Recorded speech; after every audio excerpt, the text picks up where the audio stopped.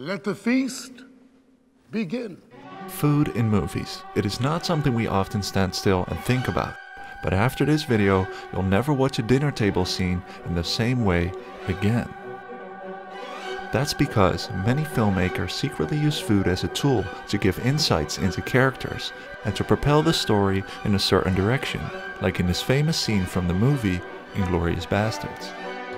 Monsieur, à votre famille je dis bravo. That's why we're going to have a look at some of the most iconic food scenes in the history of cinema and find out what food says about movie characters. But before we start, I want to thank Atlas VPN for sponsoring this video. Walter, are you playing Subway Surfers again? Look, I don't want to be that guy, but we're supposed to be in a video right now. If you love watching movies and series, I'm gonna make you an offer you can't refuse. Lots of movies and shows might not be available in your country, but by turning on Atlas VPN and selecting a new country, you can watch a lot more content from across the world. On top of that, your connection is private, they can't steal your data, all while streaming 4K at high speed. Right now, for only $1.83 per month. You might be thinking, impressive. Very nice, but there's more. Because Atlas VPN is also an ad blocker and you can connect it to unlimited devices with a 30 day money back guarantee. That's right. What's the matter with you? Get the deal right now for 3 years and 3 months free with the link down below. Alright, now let's get into the video. God damn, Jimmy. This some serious gourmet shit. Quentin Tarantino is a director that is known for his famous food scenes. His characters are eating and drinking all kinds of indulgent foods. God damn, it's a pretty fucking good milkshake. This is a tasty burger. It's like a reward. And even if they're not eating something, they're talking about it. Royale with cheese. Royale with cheese. That's right. Tarantino sure knows how to make an audience hungry, and by having the characters eat tasty nachos or sweet white cake, he's using food to establish a connection with the audience. when you see my movies, you know, there might be one drink or one piece of food that the audience fixates on. And the movie actually makes them hungry for that. They want that once they get out of the theater. I defy anyone to not want strudel when you see Inglourious Basterd. You know, it doesn't matter that just this Nazi guy's eating it. It's like, man, that, that strudel looks good. Also, who doesn't like watching Brad Pitt eat for 15 minutes straight? However, as soon as the audience starts craving for a little bit more, Please, sir. I want some more. Tarantino adds his unique flavor.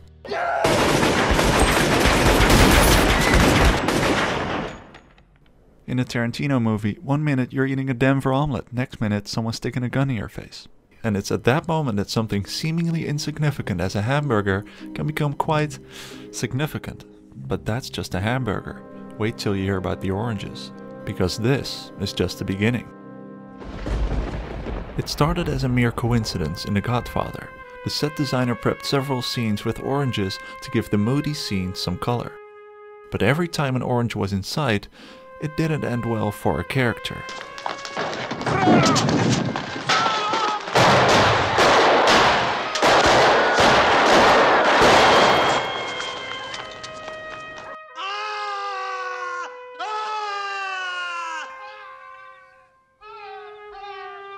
and so oranges turned into a bad omen. In Children of Men, an orange is peeled in the back seat, and after that, all hell breaks loose.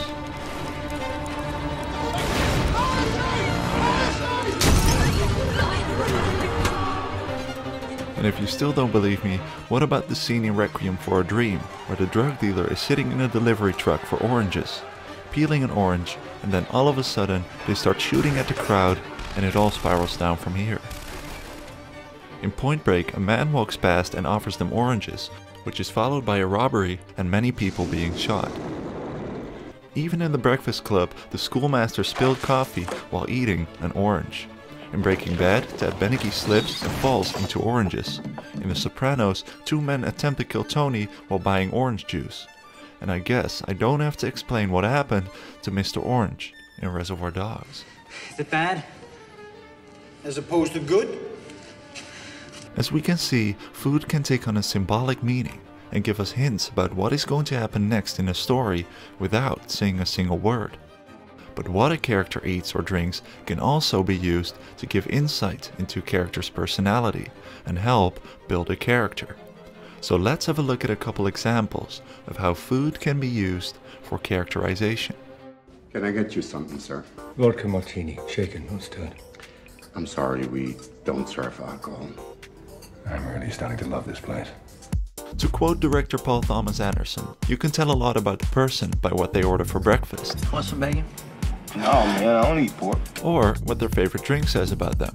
James Bond has been shaken by lots of experiences, but not so much that it stirred up his mind. And how it's ordered can tell us a lot about the person too. Tony Manero is a simple man. All he wants to do is dance. He comes from a poor family, and while the girl tries to fit into the upper class by ordering tea with lemon, he just stays himself. All those women executives in my office, they all drink tea with lemon. I like coffee. I drink coffee. Yeah. You know who that reminded me of? Al Pacino, because in Scarface, Tony Montana eats a slice of lemon that is normally used to clean your hands with after a meal. But because he had a poor upbringing, this shows us he has never really been exposed to a rich lifestyle. They often say you are what you eat, which gets taken quite literally in the case of slave owner Calvin Candie, who is named after his sugar tooth. He's getting a visit from Dr. Schultz, who is a bounty hunter disguised as a dentist. And what is the biggest enemy of a dentist? Exactly, candy. Similarly, food can create stereotypes like in the Breakfast Club. Sushi for the fancy girl, lots of proteins for the athlete, perfectly balanced lunch for the nerd, and of course, nothing for the bully. However, the whole point of the movie is to escape these stereotypes and not let someone else tell you who you are. What are you? An idiot sandwich. Idiot sandwich what? Sometimes it's when a character eats that can tell us a lot too, like Aldo Raine casually eating a sandwich during an execution. Spider-Man watching danger unfold and decides to eat a hot dog because he wanted to give up his superhero life and finally be a normal human being. But just like with the dangers of oranges, when a certain type of food or drink is used frequently for a character trait, it can become a trope as well. And the apple's one of those next. Stemming from the ancient old biblical sin, Adam and Eve lived in paradise in total innocence until the serpent, also known as the devil, enticed them to eat the forbidden fruit, an apple. As such, a bite from the apple can be used to indicate a character's loss of innocence and step to the evil side. This coincides with a seductive power, but can also be used to show a character's power and control over a situation. Similarly, milk is used as a symbol of innocence and purity. We all drank it as a child. Would you like a drink after takeoff? Milk? Just like with the forbidden fruit, filmmakers can use this association with innocence to make the audience feel that something is a little off. I drink your milkshake. And that's how milk can become a symbol of power. And it's exactly why villains are the ones consuming this pure beverage. It's evil defeating the good, indicating their loss of innocence. Colonel Hans Landa is establishing his power over the farmer and his family by devouring a glass of their milk. You're sheltering enemies of the state, are you not? Yes. And he does this in the strudel scene as well. He is forcing the Jewish girl Shoshana to eat the strudel with cream because she was hiding in the dairy farm, proving his power and in the end he destroys the cream with his cigarette. But food can also literally give a character power. 살아있는 게 먹고 싶다고 했다. Filled with hate and revenge, Old Boy eats a living octopus, which has the reputation of being strengthening in Korea. But the food itself can even become a dangerous weapon, like the peach fuzz in Parasite, used to poison the servant and infiltrate the rich family's house. And in some cases, humans themselves can become the food, like in Hannibal the Lecter. And in American Psycho, where the food in the opening credits metaphorically foreshadows the killing of Paul Allen. Goes out with that loser Patrick Bateman. What a dork. Another martini, Paul.